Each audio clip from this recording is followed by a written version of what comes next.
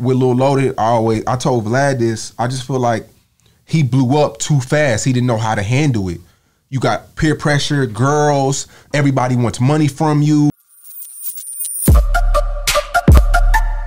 Yeah, we on Boss Talk 101. You never really know people till the money come. You said never that. You said that last time. Boy, I got That's some what- clicks off That's what I'm saying. Like you never really know. Like it's real. Like you never really know until everybody when everybody's broke. That's why rap groups never work out. When everybody's mm-hmm. broke, they got the vision. Yeah. And then when the money comes, all these different people, everybody breaks up because the money. Yeah. You know, mm-hmm. some people feel like they deserve more, and then they start comparing them. And then a lot of people start thinking they could do it on their own.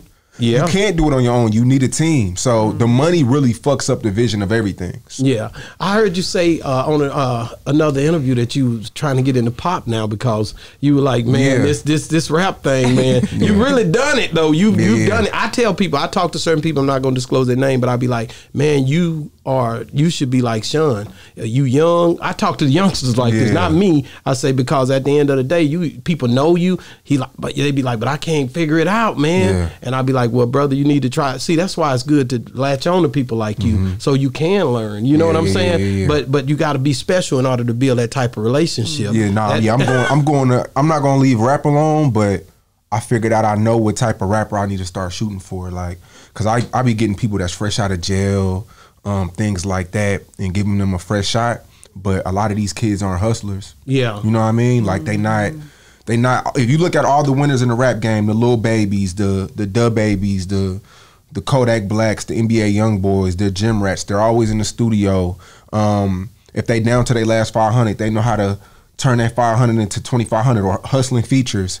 It's a different type of hustle, and I feel like a lot of people they um they rely on me and say cheese, and it's bigger than say cheese. You know what I mean? Yeah. That's why Mo3 was Mo3. That's why Yellow Beezy was Yellow Beezy because they used my platform, but then hit the strip club right after. Yeah. you know what I'm saying? That matters. A lot of these people just sit and they wait for me to post them, and then after the say cheese post, whatever we post fifty times a day. So.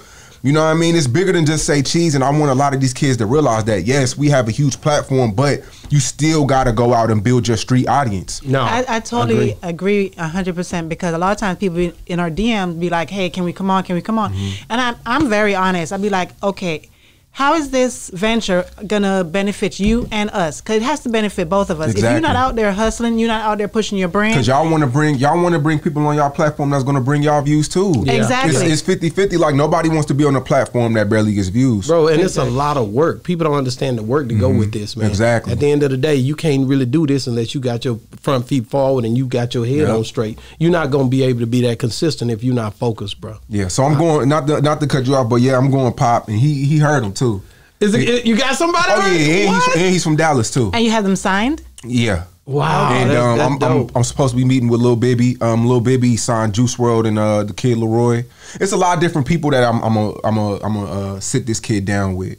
He just left the studio with Sky Storage. How Wow. old is he? He's 21. Twenty one. He's Dope. 21. He's from East Dallas. dope. um, and uh, it's a home run. Like it's it's a, it's it's something that I think about every day when I wake up. It's something I look forward to because I know it's a home run. What's different with this kid? It's really really pop, and he has he's he's like um, he he can dance like Elvis. He can moon. He's he's he's he's Caucasian too. Okay. But but he's from like East Dallas. Like he's really from. He's not from uh, Garland or McKinney. He's from East, East Dallas. Dallas. Like he's from the hood. And he's not trying to be black. no, he's pop. He heard his music. Just checking. No, no, no. He don't say nigga, none of that. None of like, that. That's good. Nah, like he's real Post Malone type artist. Wow.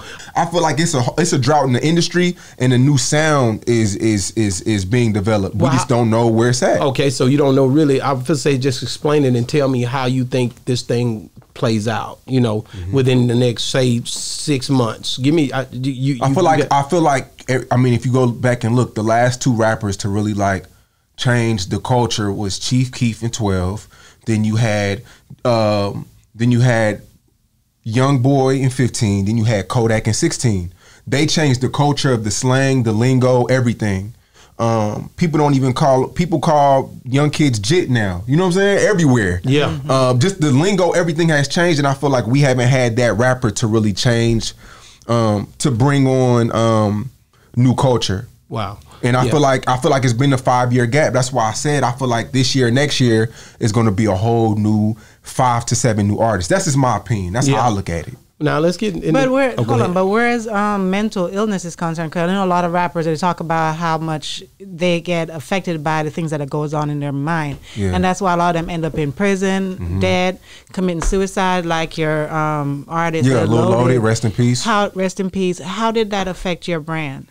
Uh, with Lil Loaded dying, that that really didn't affect me at all. Um, it really didn't. Damn, that's a great question. But people never like slandered me or anything from it. Um, cause me and him, we he, like I was partnered in that situation, but it wasn't just me and him in Oh, it okay, together. that's what I was yeah, wondering. It was just you No, no, no, no, no. Um, my my uh my guy Jay brought him to me. Oh, okay. And then he was like, "Do you want to be a part of it?" And I was like, "Yeah, cool." And then the Block Baby song took off, and then I went with him to certain meetings. He's on my Instagram with Epic and everything. He signed a, a huge deal, and then I just feel like with Lil Loaded, I always I told Vlad this. I just feel like he blew up too fast. He didn't know how to handle it. You got peer pressure, girls, everybody wants money from you, everybody wants to hang around you, you know, blowing money, all these different issues coming, your label, you're unhappy with the label, your girl, you're only 19. And I and all this, he signed almost a million dollar deal off his very first song he released. The very first song he released blew up is that 50, 60 million. He didn't even expect that.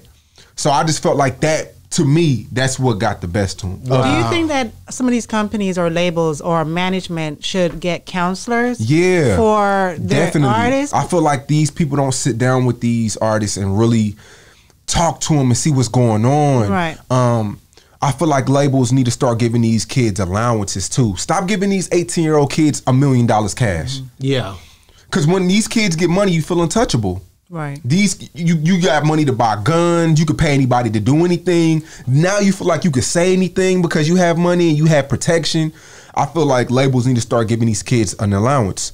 If you if it's a million dollar deal, pay him ten thousand dollars a month. You get what I'm saying? Yeah, no, I get Just it. so if he does Yeah. blow it, he can always look forward to. But once you give an 18 year old, 16 year old kid two million dollars, you can't control him. yeah. And but they as a- do it. But they do it in NFL all the time. All the time. Mm. Yeah, but The this, NFL does it all the time. Yeah, but but rap is different. Rap culture is is is a is a alpha male Yeah. culture. You gotta stick your chest out. You gotta you can't back down from from uh from conversations. You gotta take every, everything head on. You're living a lie. You're a character.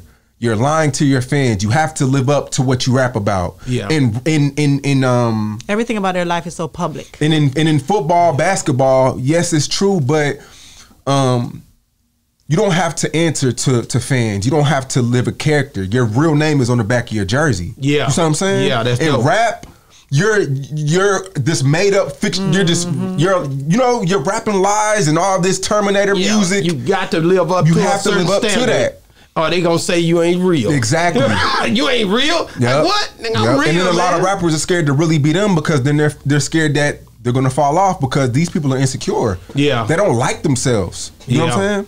Man, that's crazy, man. I just I just look at how how the game going, man, and, and just all the stuff that's going on. When you see all the stuff that's happening with all these from the Mo3s, it's not just Mo3, the Dolphin, all these like I asked you last time, like kinda, but it's even gotten worse Yeah, since you it, was it makes me want to. It makes me want to diversify my portfolio. Yeah. the weed farm, the vintage store. I'm about to open a restaurant. Um,